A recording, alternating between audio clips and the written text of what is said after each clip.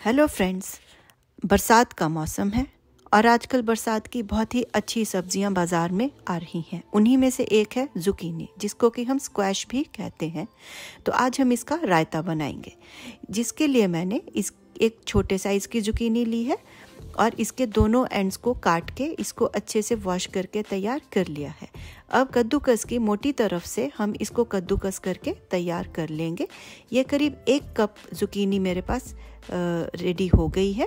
अब इसको रायता बनाने के लिए हम एक पैन में दो कप पानी डालेंगे और उसे उबलने के लिए रख देंगे। इस पैन में मैंने वन फोर्थ टी स्पून नमक का भी इस्तेमाल किया है, जिससे कि जुकीनी का बहुत ही अच्छा हरा कलर आएगा।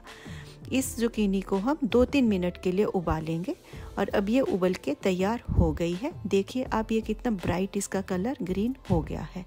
अब इस गर्म जुकीनी को हम ठंडे पानी में डाल लेंगे, जिससे कि इसका हरा रंग ऐसे ही अच्छा सा हमें दिखता रहे। मेरे पास ठंडा पानी नहीं था, इसलिए मैंने आइस क्यूब्स का इस्तेमाल किया है। एक स्ट्रेनर की सहायता से हम इस एक्स्ट्रा पानी को छान लेंगे और सॉफ्टली इस जुकीनी को स्क्वीज़ करके एक बोल में ट्रांसफ़र कर लेंगे। अब हम रायते की अगला स्टेप करेंगे, जिसके लिए हमें चाहिए दही। ये मैंने एक कप दही लिया है। ये काफ़ी गाढ़ी दही है। अगर आपके पास भी गाढ़ी दही है तो आप उसको अपने हिसाब से पतला कर सकते हैं, पानी या दूध का इस्तेमाल करके।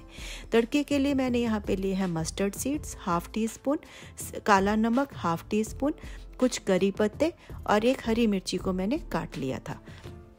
एक पैन में यहाँ पे एक टीस्पून ऑयल गरम कर लिया है। मैंने ऑलिव ऑयल का इस्तेमाल किया है। गरम तेल में अब मैं half teaspoon mustard seeds को डाल दिया है। ये अच्छे से गर्म था तेल, इसलिए ये अच्छे से क्रैकल होने लगे हैं। अब इसी में हम करी पत्ते और काटी हुई हरी मिर्च को डाल देंगे। 20-30 मिनट सॉटे करने के बाद ये तड़का हमारा रेडी हो जाता है। अब इस तड़के को हम जुकीनी और दही के मिश्रण में मिला देंगे और एक लिड से एक मिनट के लिए कवर करके रख देंगे ताकि सारा फ्लेवर दही में आ जाए। अब ये रायता हमारा तैयार है। लास्ट में हम इसमें नमक डाल देंगे और इसको अच्छे से मिक्स कर देंगे। अब आप चाहें तो इसको एज इट इज़ सर्व कर सकते हैं या किसी दूसरे सर्विंग बोल में निकाल के अपनी इच्छा की गार्निश करके आप इसको मेहमानों के लिए या फैमिली में सर्व कर सकते हैं। मैंने यहाँ पे पुदीने का इस्तेमाल किया है। आशा करती हूँ कि ये वीडियो मेरा आपको बहुत अच्छा लगा होगा और आप मेरे चैनल को सब्सक्राइब करेंगे और मेरी रेसिपीज़ को लाइक करेंगे, जिससे कि मैं अच्छे अच्छे नए वीडियोज़ भी आपके लिए बनाती रहूँ।